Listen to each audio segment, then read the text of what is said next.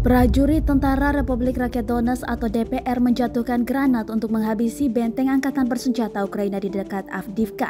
Pada unggahan di Telegram Kamis 18 Agustus 2022 menunjukkan target penyerangan berada di area hutan.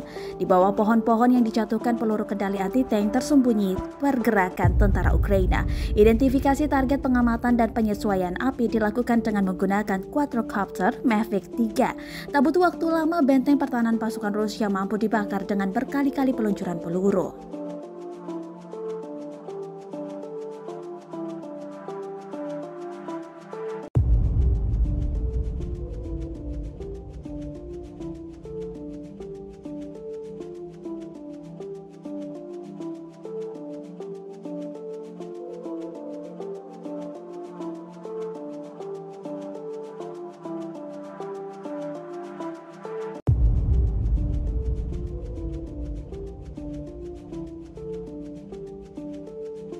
Terima kasih sudah nonton.